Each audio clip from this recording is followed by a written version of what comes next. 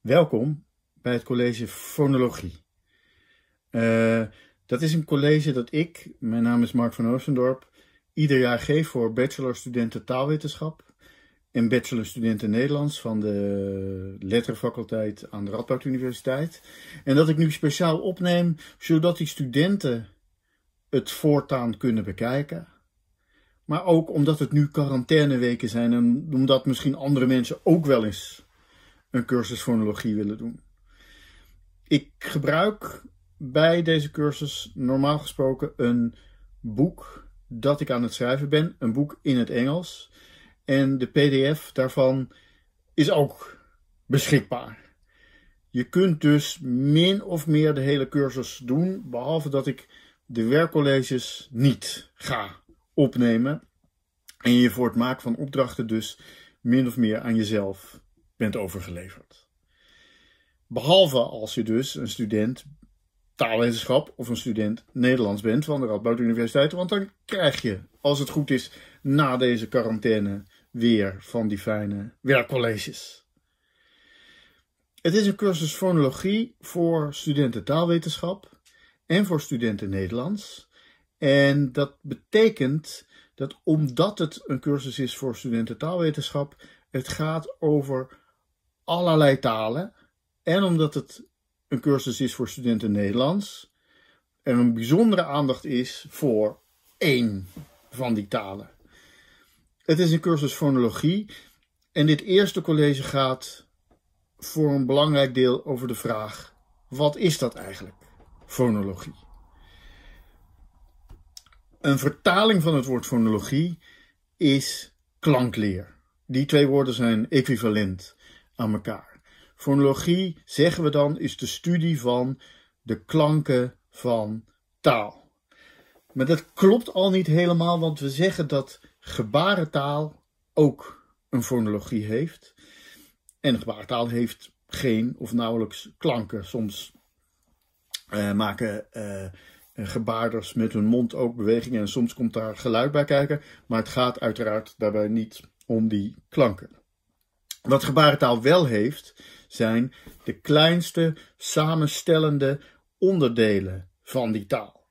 Zoals gesproken taal individuele klanken heeft. Het Nederlands heeft een A en een A, een E en een E. En dat zijn onderdelen van het Nederlands. Onderdelen die op zichzelf weinig betekenen, maar die wel kunnen worden samengevoegd tot woorden, zinnen, grotere gehelen die wel iets uh, betekenen. Zo geldt dat ook voor gebarentaal. We zijn dus hiermee eigenlijk al een stapje dichter bij de uiteindelijke definitie van gebarentaal. Uh, sorry, de uiteindelijke definitie van fonologie. Uh, namelijk de studie van de kleinste samenstellende delen van taal. Nou zal ik het heel weinig hebben over gebarentaal in deze cursus. Helaas, er zijn andere cursussen voor. Uh, dus we hebben het uiteindelijk vooral over gesproken taal. En dan zijn die kleinste samenstellende delen uh, uiteraard uh, klanken. Dus ik zal het heel vaak hebben over klanken. Maar klanken als onderdeel van taal. De fonologie heeft een zusterdiscipline. Die zusterdiscipline is de fonetiek. Uh, en daar, die bestudeert ook de klanken van taal, zou je kunnen zeggen, maar minder als aspecten van taal. Fonetiek is vaak gezien als een, een, ja, een studie van de fysische en fysiologische eigenschappen van die klanken. Het is dus een studie van geluidsgolven. Het is een studie van hoe het oor precies werkt. Het is een studie van hoe de articulatieorganen waarmee ik nu die klanken voortbreng precies in elkaar zitten en hoe, hoe die dan die klanken maken. Dus fonetiek gaat over die klanken, maar dan niet als onderdeel van de taal. En fonologie gaat over die klanken als onderdeel van de taal. Het betekent bijvoorbeeld ook dat, uh, dus in de studie van het Nederlands zeggen we dat, uh, nou, die klinkers heeft zoals een E. Uh, dat ik die E op een bepaalde manier zegt en jij die E op een andere manier zegt, dus dat het zelfs het resultaat verschillend is. De ene persoon zegt iets meer E en de andere persoon zegt iets meer E. Uh, en er zijn miljoenen variaties daartussenin. Dat is dus al geen onderdeel van de fonologie. Wat een van de interessante aspecten van taal, van klanken in taal, is dat ze wat we noemen categorisch zijn. Klanken zijn in taal categorisch. Iets is een E of iets is een E en daar zit niets tussenin. Fonetisch wel. Iedere keer als ik een E zeg, zeg ik iets anders. En soms begeeft die E zich heel erg op het terrein van de E, zou je kunnen zeggen. En met name is de E van de ene persoon bijna de E van de andere persoon. Voor de fonetiek doet dat ertoe. Voor de fonologie doet dat er niet toe. En dat doet er niet toe omdat het kennelijk in de menselijke geest er niet toe doet. Fonologie is uiteindelijk in de ogen van de meeste fonologen een studie van de menselijke geest. Ik kom daar nog later ook nog iets meer op terug. Uh, ik kom daar later nog iets meer op terug. Maar het is dus een studie van de menselijke geest, van iets wat er in onze hersenen gebeurt. En in onze hersenen zitten die klanken kennelijk in goed afgebakende, van elkaar afgesloten vakjes. Een van mijn favoriete, heel oude klassieke experimenten uh, laat dat zien. Uh, als je, uh, ik geloof dat het ging over D's en uh, T's. Het verschil tussen D en T is een relatief verschil. Wat is dat verschil ongeveer? Voor, wel, fonetisch zit het zo in elkaar dat je twee dingen doet bij het zeggen van de D en bij het zeggen van de T. De tweezelfde dingen, namelijk je, je heft het puntje van je tong op achter je tanden, op, in een, op het alveolum. En je, je, je houdt de lucht, de naar buiten stromende lucht daarmee even uh, tegen. Dan laat je los en dan ontstaat er een explosie. Dat, die explosie is een deel van de klank. Dat, dit, dat is wat je hoort, een explosie. Het andere, wat je zowel bij een D als een T moet doen, is op een bepaald moment je stembanden aanzetten. Althans, in ieder geval als je da of ta zegt. Je zet je stembanden in ieder geval aan voor de klinker. Het verschil tussen D en T is nu wanneer, hoe je die twee gebeurtenissen, dus het maken van die explosie en het aanzetten van je stembanden, hoe je die precies uh, temporaliseert. Hoe, wat precies de temporele verhouding is tussen die twee gebeurtenissen. Als je een T zegt, in het Nederlands althans, dan zeg je die twee dingen ongeveer, doe je die twee dingen ongeveer tegelijkertijd. Dus de explosie gebeurt ongeveer tegelijkertijd met het moment dat je je stembanden aanzet. Ta. En als je een D zegt, doe je eerst je stembanden aan en dan volgt die explosie. Da.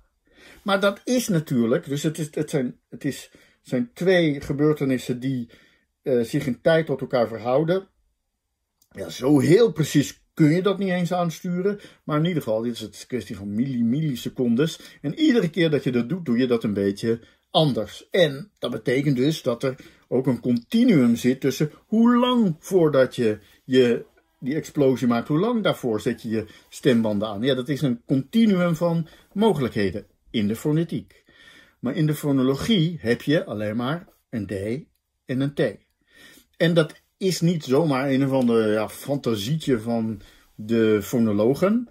Dat is hoe het in ieder geval in de perceptie van sprekers zo is. Als je nu een D opneemt en je neemt een T op en vervolgens uh, manipuleer je met de computer, dat was dat experiment, manipuleer je met de computer zo dat ja, dat aantal milliseconden steeds groter of steeds kleiner wordt. Dus je maakt een aantal tussenstadia daartussen.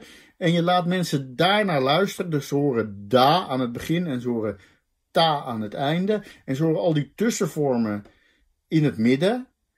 Dan horen die mensen niet, ook fonologen niet, ook mensen die dat experiment kennen niet. Wat onmogelijk is om dan te horen is da, da en dan allemaal tussenvormen, tussenvormen die steeds dichter komen bij een ta en dan een ta. Nee, wat je hoort is, je hoort, da, je hoort eerst een aantal keer da en dan hoor je ta. Dan hoor je een aantal keren ta. Je hoort niet iets wat ertussen zit. Fonologisch, in de perceptie van mensen, is er niet iets wat tussen een D en een T zit. En de taal maakt ook geen gebruik van iets wat tussen D en een T zit. Iets wat tussen een D en een T zit, dat, dat iets tussen D en een T zit, betekent niks. Dat, dat, dat maakt grammaticaal geen verschil. Het maakt in betekenis tussen twee woorden nooit een verschil als iets te, er tussen, tussen twee dingen in zit. De, je, je hoort het niet en de taal gebruikt het niet. En de fonologie is geïnteresseerd in die dingen die sprekers kunnen en die de taal gebruikt. En, um, en dat is dus altijd categorisch. Dat is eigenlijk dus al meteen een eerste observatie over de fonologie. Dat gaat over categorische dingen, want kennelijk werkt taal met categorische dingen. Het geldt niet voor alle aspecten van taal, zelfs er zijn bepaalde klankaspecten van taal waar het niet voor geldt. Bijvoorbeeld mijn toonhoogte, die gebruik ik om, uh, nou ja, die, die kan ik gebruiken om bepaalde effecten in te zetten. Maar die effecten zijn ook eigenlijk niet zo rechtstreeks talig. En daar, dus daar kan ik natuurlijk, dus het maakt verschil. Ik praat nu een beetje hoger, ik praat nu nog hoger, nog hoger. Dat maakt wel degelijk verschil. En zelfs zou je kunnen zeggen, iedere eh, zelfs de kleinste verschillen kunnen daar een soort psychologisch effect hebben. Maar dat is. Ja, dat, ja het, het, uh, het, het is iets wat bovenop de semantische betekenis komt van woorden. Ja, dat is, dit is het verschil tussen fonetiek en fonologie. Zo is er ook een verschil, belangrijk verschil tussen fonologie en morfologie of fonologie en lexicon. Ik neem die twee nu even samen. Morfologie is de studie van woordstructuur. Lexicon is de, de, de studie van hoe woorden in ons hoofd zitten. En ook daar, dus ook daar zijn, ook dat moet je een beetje afbakenen. Een bekend voorbeeld uit het Engels is dat je uh, het Engelse meervoudsuffix is, schrijf je vaak als een S, maar het is niet altijd per se een S. Dus er is een verschil tussen cats en dogs. Uh, dus in cats is het inderdaad een S als klank, cats. Maar in dogs is het een Z als. Uh, nou, dus dat is een verschil tussen S en een Z. Dat is net zo'n soort verschil in veel opzichten als het verschil tussen T en D. Een verschil in stemhebbendheid, in het Engels in voicing. Uh, het is een absoluut verschil. Um, het is iets wat hoort bij de, je kennis van een bepaalde uh, taal. Dus je, je weet dat je, um, als je, als je Engels leert, moet je deze regel leren. Maar in dit geval is het de vraag, is dat nou fonologie of is dat morfologie? Het zou morfologie kunnen zijn omdat het gaat over de structuur van achtervoegsels, de structuur van suffixen. Uh, en eh, een, een soort specifieke regel is die ook specifiek geldt voor bepaalde suffixen in het Engels. Er is in het Engels bovendien nog een andere hieraan verwante regel. En dat is dat fishes, fishes, daar komt er nog een e tussen. En dat is, heeft waarschijnlijk iets te maken met iets wat we heel veel gaan zien in deze cursus. Namelijk dat talen een hekel aan hebben als er twee klanken naast elkaar staan die te veel op elkaar lijken. En de sh en de s lijken veel op elkaar. En daarom ben je geneigd om daar, nou, ben je daar geneigd om daar een e tussen te zeggen. En ben je geneigd, is eigenlijk nog niet eens goed gezegd, is het een regel van het Engels om daar een e tussen te zetten. Nou, dus in ieder geval zit de fonologie tussen fonetiek en lexicon in, tussen uh, de, de, structuur van hoe je woorden opslaat in je hoofd en de klanken in je hoofd. En heel dingen in de fonologie kun je ook eigenlijk alleen maar begrijpen als je fonetiek begrijpt. Daarom hebben jullie een inleiding fonetiek eerst gedaan. Kun je ook eigenlijk alleen maar begrijpen als je uh, meer begrijpt over de rest van de grammatica, als je meer begrijpt over de morfologie, als je meer begrijpt over de syntaxis misschien wel, als je meer begrijpt over het uh, lexicon. Maar dat is zo'n beetje de plaats van de studie van deze module in uh, het beeld van de taalkunde. Het is zoals de fonetiek een studie is van fysiologie en fysica, zo is de fonologie, net als bijvoorbeeld de morfologie, een studie van grammatica. En dat kun je op verschillende manieren doen. Je kunt bijvoorbeeld denken, ja, de grammatica is een verzameling van sociale afspraken. Er zijn taalkundigen die dat denken en die dus ook de fonologie zo zien. Maar je kunt het ook zien als de studie van uh, het individu, het wat eigenlijk van de, van de menselijke geest. Wat, en uiteindelijk daarmee van het menselijk brein. Wat hebben wij in onze geest? Wat hebben wij in ons brein als we een bepaalde taal kennen? Nou, dit is uh, belangrijk om te weten. Het is belangrijk om te begrijpen wat fonetiek en fonologie en fonologie en morfologie van elkaar onderscheidt. Volgende stap. Een van de interessante dingen van de fonologie van deze jaren is, uh, en daar in deze cursus um, uh, wil ik daar speciaal de aandacht op vestigen, is dat um, we heel veel verschillende vormen van evidentie hebben voor fonologische verschijnselen. Wat bestuderen we precies als we fonologie bestuderen? Wat is precies een feit in de fonologie? Wat geldt als een feit? Dat het antwoord daarop is in de loop van de jaren enorm verbreed en we hebben heel veel nieuwe manieren gevonden om feiten te kennen en feiten te onderkennen. Um, de traditionele manier, zou je kunnen zeggen, was gebaseerd op wat heet oordelen van moedertaalsprekers. Je vraagt mensen, klinkt dit goed? Bij wijze van spreken. Of hoe zeg je dit in uw taal? En je noteert dat dan in een fonetisch schrift. Een fonetisch schrift dat we bij de cursus fonetiek hebben gezien. Um, en vervolgens probeer je, dat zijn eigenlijk je feiten. En die feiten bestudeer je. Dus je bestudeert hoe, wat mensen zeggen of wat mensen denken dat goed klinkt. Dus het feit dat je fishes zegt in het Engels, waarom is dat een feit? Dat is een feit omdat we weten dat sprekers van het Engels het raar vinden als iets anders zegt. Het feit dat wij dan en tan, eh, dat, dat is niet echt een woord, maar da, uh, uh, nou, laat zeggen baard en paard, dat we die van elkaar onderscheiden. Ook dat is weer een verschil in stemhebbendheid. dus dat feit dat we die twee woorden van elkaar onderscheiden, waarom is dat een feit? Dat is een feit omdat als je aan tegen een Nederlander baard zegt, hij op een andere manier reageert dan wanneer je tegen een Nederlander paard zegt. En een Nederlander ook desgevraagd een Nederlandstalige moet ik zeggen, desgevraagd zal zeggen: Oké, er is een verschil tussen baard en paard. Dat zijn twee verschillende woorden. Terwijl er geen verschil, waarom is er geen verschil in het Nederlands tussen baard en paard? Dus met een lage en een hoge toon. Dat is geen betekenisverschil. Dat is gewoon, het ene woord is een beetje raar uitgesproken. In het ene geval is het woord een beetje raar uitgesproken en het andere niet. In sommige talen maakt dat wel verschil. Waarom maakt dat in het Nederlands geen verschil? Waarom is dat een feit? Omdat een Nederlander dat zegt. Dat zijn dus subjectieve feiten. Um, maar ze zijn, zoals dat heet, intersubjectief. Ze zijn subjectief. Uh, dus baard en paard zijn verschillend omdat ik subjectief ze als verschillend ervaar. Maar ze zijn, die feiten zijn intersubjectief omdat je aan een grote groep, bij een grote groep mensen navraag kan doen. En die allemaal geven allemaal datzelfde antwoord, namelijk het is het zijn twee verschillende uh, woorden. Dus uh, het is meer dan alleen maar zomaar fantasie van mij.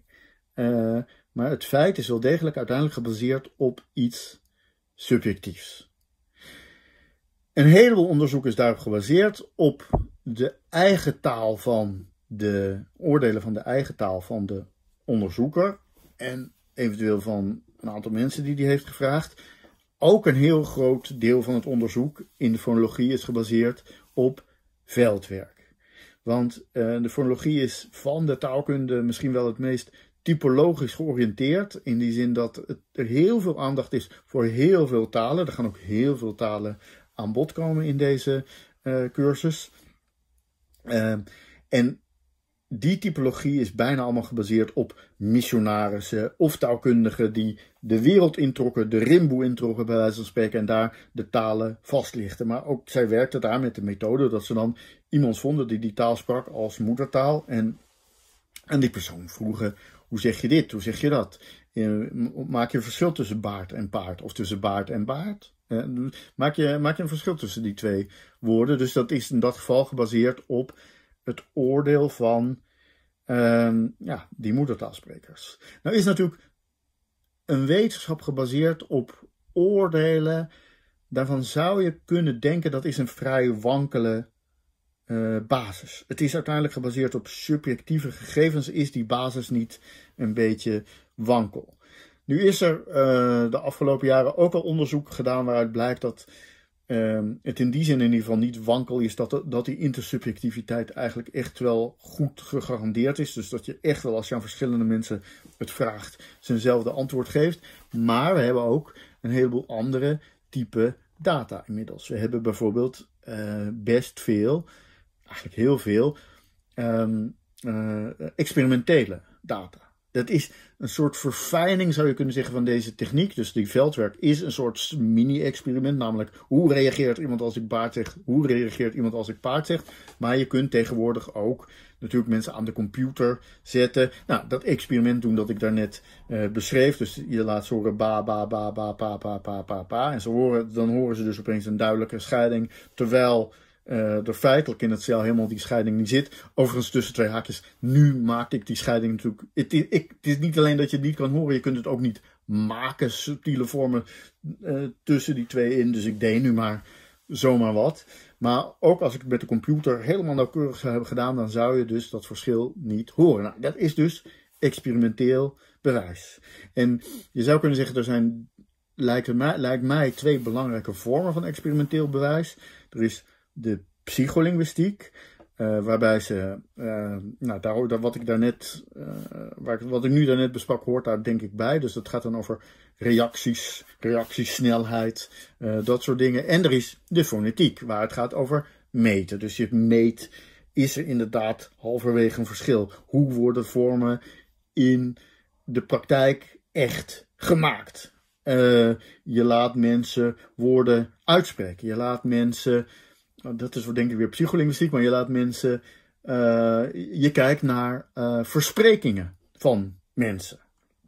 En dat is iets minder experimenteel. Dat is iets minder experimenteel. Dat brengt ons namelijk op een volgende vlak, een volgend aantal mogelijke uh, manier, vormen van evidentie voor de fonologie. En dat is. Um, um, zijn, dat heet, dat noemen we corpora, dus verzamelingen taal. Is dat een corpus? Ja, een corpus is een verzameling taal. Speciaal samengesteld, meestal natuurlijk op de computer tegenwoordig. Er bestaat bijvoorbeeld een corpus gesproken Nederlands door uh, wetenschappers een jaar of 15, 20 geleden. Uh, zorgvuldig samengestelde opnames van allerlei mensen die van alles en nog wat in het Nederlands aan het zeggen waren in Nederland en in Vlaanderen. Dat is dus een verzameling, die kun je bestuderen. Dan kun je daar op zoek gaan naar versprekingen. Dan kun je daar op zoek gaan naar uh, hoeveel verschil maken mensen eigenlijk tussen da en ta. En zijn daar regionale verschillen tussen? Uh, verschillen tussen Nederland en Vlaanderen of verschillen tussen verschillende gebieden? Het antwoord op die vraag is overigens voor dit specifiek voorbeeld waarschijnlijk vrijwel nee. Dus da en ta zegt bijna iedereen die Nederlands spreekt ongeveer op dezelfde manier. Met kleine uitzondering van een aantal mensen in Noordoost-Groningen die meer zeggen ta en ta. Uh, zoals in het uh, Duits. Dus, dus in plaats van baard, paard zeggen ze paard, paard. Uh, dus de P spreekt ze uit als p en de B spreekt ze bijna uit als een p. Um, nu raakt Oké, dus dat is, corp, dat is corpusonderzoek. Dat is een vorm van corpusonderzoek. En zo kun je heel veel onderzoeken. Welke klanken komen nou het meest voor? Welke klanken zeggen mensen het vaakst? Bij welke, bij welke klank hebben mensen het minste uh, moeite? Enzovoort. Je kunt dus grote verzamelingen data, echt reëel uitgesproken data, onderzoeken. Dat is dus anders dan de eerste methode waarbij het gaat over hoe het bij mensen in hun hoofd zit Of de tweede methode, die experimentele methode, waarbij het gaat over wat gebeurt er in een laboratorium. Uh, maar wat gebeurt er in het wild, zo gezegd. En we nemen dan enorme hoeveelheden gegevens over dat wild. Het is overigens nog niet makkelijk, want wat bedoelen we precies met dat wild? In het corpus gesproken Nederlands ging het over standaard Nederlands. Het ging over bepaalde situaties, als mensen praten. Hoe kom je aan data? Hoe mensen praten tegen hun geliefde? Ja, daar kom je eigenlijk bijna niet uh, aan. Het, is, het blijft dus een soort subset, maar tegelijkertijd één die natuurlijk toch wel wat evidentie geeft. Er is nog een vorm van data die erg in de belangstelling staat. En dat is um, um, wat je zou kunnen noemen kunstmatige data. Artificial data. Experimentele data zijn soms kunstmatig. Hè? Dan moeten mensen luisteren naar zogeheten onzinwoorden. En dan zeggen of ze dat goede woorden vinden van het Nederlands of niet. Dus als ik zeg uh, benik, vindt u dat een goed woord van het Nederlands of niet? Nee, dat is geen goed woord van het Nederlands. Dat kan geen woord van het Nederlands zijn. En nu heb ik dus een heel klein experimentje gedaan met een onzinwoord met kunstmatige data. Maar de laatste jaren wordt die kunstmatigheid nog iets verder opgevoerd. En gaat het niet alleen maar over kunstmatige uh, woorden, maar soms zelfs over kunstmatige talen. Dan worden taal, taaltjes, moet ik zeggen, gemaakt. Uh, die bestaan uit een aantal woorden. En dan wordt er gekeken hoe snel kunnen mensen zo'n taaltje leren. En de bedoeling daarvan is, is ons idee van hoe de fonologie in elkaar zit, hoe het in ons hoofd zit, um, uh, klopt dat? Want een belangrijke kernvraag van heel veel fonologie is, zeker van die fonologie die gaat over taal als iets wat in de hersenen zit, gaat dus over de vraag: hoe werken de hersenen? Hoe berekenen de hersenen wat er gebeurt? Hoe berekent zo'n je hersenen nou zo, zoiets op het eerste gezicht betrekkelijk simpels als cats heeft een S en dogs heeft een Z. En als ik een nieuw woord aan het Engels toevoeg, dan weet iedere spreker van het Engels meteen of er een S of een Z uh, zit. Bijvoorbeeld uit het Nederlands. Het Nederlands heeft geen woorden die eindigen op een D klank of op een B-klank bijvoorbeeld. Het heeft wel woorden die eindigen op een letter D, hond, maar het heeft geen woorden die eindigen op de klank D. Want hond spreek je uit met een T. App spreek je uit, of web spreek ik uit met een P. Er is geen enkel woord in het Nederlands dat je uitspreekt met een D of met een B. Uh, dat geldt ook voor nieuwe woorden. Dus een, een kenmerk van het Engels accent in het Nederlands is dat je zegt: hier is een bad guy. En dat je dus de laatste D van bed uitspreekt als een T, bed. Um, dat is een vorm van berekenen, zou je kunnen zeggen. Daar, daar, wordt dus iets, daar gebeurt dus in je hersenen, gebeurt daar een bepaalde berekening. Het is waarschijnlijk een betrekkelijk simpele berekening. Namelijk, oh, we zitten aan het eind van het woord. Dan kan ik geen D zeggen. Dus verander ik die D in een T. En dat, dat, daar zitten toch een aantal stappen in. moet iets, dus kennelijk iets, er is kennelijk iets als het einde van een woord. En er is een soort verandering. En waarom is die verandering dan van een D naar een T? Nou, er is best veel studie naar dat soort veranderingen. En dus ook naar de vraag: uh, wat, wat betekent het nu dat in talen van de wereld uh, er best veel talen zijn die dit doen, zoals het Nederlands. Het Engels dan toevallig niet, maar het Duits wel, het Russisch wel, het Turks wel. Uh, allerlei talen van over de hele wereld wel. Een heleboel talen niet, maar ook een heleboel talen wel. Maar er zijn geen talen die ditzelfde doen aan het begin van het woord. Dus die zeggen aan het begin van het woord heb je geen verschil tussen D en T. En je zegt alleen maar een T. En aan het eind van het woord wel. Dus uh, maak je wel verschil. Dus uh, wij zeggen dat, maar dat is geen woord.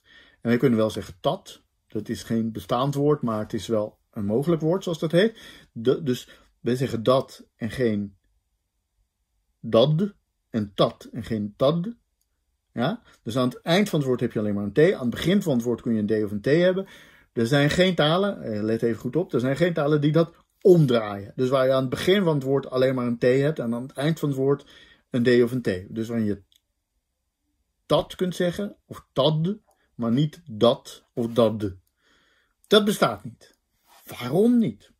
Ja, misschien is dat toeval. Misschien uh, is geen enkele taal op die manier ontstaan, maar misschien, denken we, is dat ook omdat uh, dat een type berekening is die niet past in hoe onze hersenen met taal omgaan.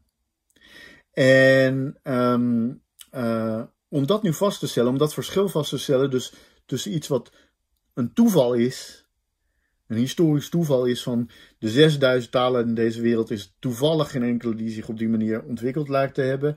En die 6000 talen kennen we niet allemaal, dus je moet eigenlijk zeggen dan van de paar honderd woorden van die 6000 talen die we kennen, heeft geen enkele taal. Dat, dat is toeval. Nou, om dat vast te stellen kun je experimenten doen met mensen die je probeert, bijvoorbeeld met Engelsen, die dus allebei de verschijnselen niet hebben in hun taal, dus niet aan het eind van het woord, niet aan het begin van het woord. En die probeer je dan die twee systemen te leren en dan kijk je, leren ze de ene makkelijker dan de ander. En dat blijkt zo te zijn. Dus mensen blijken dan inderdaad dat systeem van aan het eind, dus het Nederlandse systeem, makkelijker te kunnen leren dan het systeem aan het begin. Er zitten allerlei haken en ogen aan. Uh, uh, bijvoorbeeld, uh, ja, wat, wat zegt dit nou precies dat je dit in zo'n experiment kunt leren? Wat zegt dat nu precies over de echte ontwikkeling van talen? Het zijn altijd ook volwassenen die zo'n taal leren. En volwassenen die nemen altijd een heleboel mee van hun moedertaal. waarom nemen En met kinderen kun je het tegelijkertijd, oh, zeker niet met heel jonge kinderen kun je het tegelijkertijd ook weer niet echt doen. Dus daar zitten allerlei haken en ogen aan. Maar dat geldt eigenlijk voor alle soorten van evidentie die we hier bespreken. Al die soort, aan alle soorten evidentie zitten haken en ogen. De kunst is nu juist om te laten zien dat die verschillende soorten evidenties soms convergeren. Dat je bewijs hebt uit de ene hoek en uit de andere hoek. Dat het allemaal uit dezelfde, uh, dat het allemaal op hetzelfde neerkomt. En als je dat vindt, dan kun je zeggen, dan hebben we dus een soort ja, bewijs dat we op de goede weg zijn. Um, ja, oké, dus dat is uh, uh, die soort evidentie. Wat, wat ben ik nou nog vergeten? We hebben nog typologische evidentie, die is nu eigenlijk gaandeweg een beetje voorbij gekomen. Namelijk, een heleboel talen hebben dit, een heleboel talen hebben dat. Bijvoorbeeld, het lijkt erop dat je kunt zeggen dat alle talen van de wereld een T-klank hebben. Een T-medeklinker. En dat tegelijkertijd die T de enige medeklinker is die die eigenschap heeft. Dat alle talen hem hebben. En misschien ook de M of de P. Misschien, misschien. Maar de, voor de T geldt dat in ieder geval. En het geldt voor een heleboel andere medeklinkers niet. Bijvoorbeeld, zo, Aziatische talen maken geen verschil tussen L en R. Dus die hebben minstens één van die twee niet. Bijvoorbeeld, het Nederlands heeft niet de th die het Engels wel heeft, hè, enzovoort. Dus er zijn een heleboel dus talen verschillen, maar die T is een soort centrale klank. De A heeft zo'nzelfde soort eigenschap voor klinkers. En voor klinkers geldt misschien ook dat de I en de U die eigenschap hebben. Waarom? Er is iets heel simpels, kennelijk, aan die klanken. Wat is dat simpele? Nou, dat kunnen we betrekkelijk makkelijk begrijpen. En Bovendien is daar ook, ook hiervoor geldt weer, er is ook andere evidentie, experimentele evidentie, uh, evidentie in corpora, evidentie van frequentie, dat die T inderdaad een heel simpele klank is. Dus hij komt in veel talen voor en in talen waarin die voorkomt, ja dat zijn dus alle talen, dus in individuele talen is die ook een heel frequente uh, medeklinker. En als een medeklinker verandert, verandert die vaker naar een T dan dat de T verandert naar een andere medeklinker. Uh, als mensen een vergissing maken, dan gaat die vergissing makkelijker naar de T dan naar een andere medeklinker. Dit is een voorbeeld van het soort convergentie dat we hebben. Geen enkel verklaring nu gegeven. Dat komt later, verderop in volgende colleges, over waarom die T dan zo simpel zou zijn. Maar uh, uh, dit is we hebben het nu alleen maar over wat mogelijke vormen van evidentie zijn. En dit is één zo'n vorm van uh, uh, convergentie van evidentie. Het laatste, de laatste vorm van evidentie die ik zou willen noemen, die noemen we formele evidentie. En die komt bijvoorbeeld voort uit computermodellen. We maken een computermodel van uh, de geest die uiteindelijk werkt met klanken zoals wij met klanken werken. Die klanken kan verwerken op de manier waarop wij klanken kunnen verwerken. Um, dat is dus, en dus de evidentie is dan, dat systeem werkt, inderdaad. Dus het, het werkt en het werkt op de manier zoals wij dat verwachten. Dat is dus gebaseerd meestal op andere evidentie, want het werkt zoals dit en dat. En dan moeten we wel weten hoe dit en dat in elkaar zit. Maar het is ook een soort bewijs voor het theoretische model dat we opbouwen. De fonologie is in de taalwetenschap. De, ik denk dat het niet overdreven is om te zeggen dat dat de eerste tak van de taalwetenschap is die heel erg sterk ging werken aan theorieën en wel aan formele theorieën, aan formele modellen. Dat wil zeggen aan modellen die in een wiskundige, of je zou misschien kunnen zeggen quasi-wiskundige notatie zijn opgesteld. Uh, die klanken liggen natuurlijk het meest aan de oppervlakte van taal. Betekenis is veel moeilijker te vatten, uh, omdat het ja, niet zoiets heeft als de fonetiek, waar het zo, dat zo makkelijk meetbaar is en waar we het zo makkelijk aan zouden kunnen uh, relateren. Dus bij de fonologie is het in zekere zin, in die zin, de taalwetenschap begonnen, de formele taalwetenschap begonnen. En die formele taalwetenschap zegt, we streven naar het maken van een zo expliciet mogelijk model. En dat zo expliciet mogelijk kan betekenen, ja, we schrijven het op in een soort van formules, eh, wiskundige formules. Een andere vorm kan zijn, we schrijven het op in de vorm van een computerprogramma. En dat zo'n computerprogramma naar behoren werkt, is dan een vorm van evidentie voor onze theorie. Het is dus meer indirecte evidentie, maar het is wel evidentie. Dat, ik moet dan ook nog bespreken de vraag welk van al deze vormen van evidentie is nu de beste. En het antwoord op die vraag is natuurlijk, ja, ze zijn allemaal goed. Het is, het is, het is niet, ze zijn allemaal goed en ze hebben allemaal problemen. Geen van die vormen van evidentie is eigenlijk op zichzelf misschien wel goed genoeg. Maar we moeten het hebben van die convergentie van evidentie. En het kan natuurlijk zijn dat voor sommige claims er weinig evidentie is van de ene kant op of de andere kant op. Um, maar um, uh, we, we hebben in ieder geval meer dan één type evidentie nodig. Nou, we gaan er heel veel van zien. En er zijn ook nog allerlei vormen die je op de een of andere manier hier nog in zou moeten passen. Bijvoorbeeld, er is evidentie van gedichten. Hoe mensen gedichten maken. Je zou kunnen zeggen een bijzondere vorm van kunstmatige uh, evidentie. Er is evidentie van. Er is evidentie van kindertaal. Hoe kinderen hun taal leren. Kinderen leren bijvoorbeeld heel vaak de T als allereerste klank medeklinker van hun taal. Ja, je zegt dan, huh, maar het eerste woord is toch mama? Ja, oké, de M is ook een van de allereerste medeklinkers. En bovendien, eerlijk gezegd, als kinderen mama zeggen, dan zeggen ze misschien nog niet eens echt een woord. Als kinderen mama zeggen, dan doen ze misschien niet in eerste instantie niet veel meer dan hun mond dicht mm, en dan open A. Mama, mama, mama, mama, mama. Dus ik ben een baby en ik.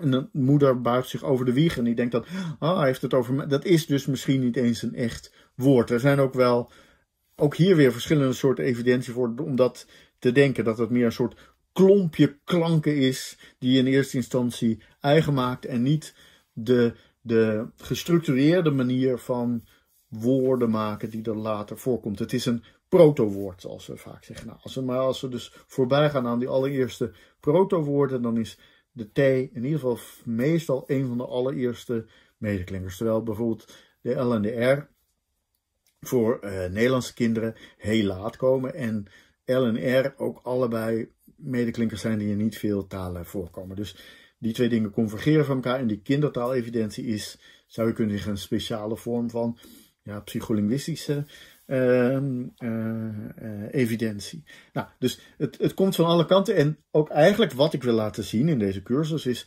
met al die verschillende soorten van evidentie hebben we uiteindelijk ook echt een goed beeld gekregen van hoe taal, en in ieder geval dus de klankkant van taal, in ons menselijk hoofd zit. Dat de, de manier waarop wij woorden maken, heel erg verschilt van mens tot mens, heel erg verschilt van cultuur tot cultuur, maar dat er wel degelijk ook algemeenheden over te zeggen zijn. Dat iedere taal zoiets heeft als lettergrepen. Dat iedere taal zoiets heeft als woorden. Dat er een verschil is tussen het eind van een woord en het begin van een woord. Uh, dat uh, sommige klanken op een bepaalde manier eenvoudiger zijn dan andere klanken, ook al zijn ze op zichzelf helemaal niet zo eenvoudig te maken. De T is die nou heel simpel te maken. Je moet het puntje van je tong optillen tot op je uh, verhemelte. Is dat nou eenvoudig? Ja, er is een vorm van. We kunnen eenvoud definiëren zodanig dat we dat uh, begrijpen.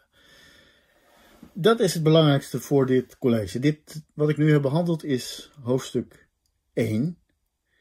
Um, ah, er is nog één tip voor de studenten die ik wil meegeven. En dat is: zeg tegen een fonoloog nooit letter. Ik heb het nooit over de letter A, ik heb het over de klank A.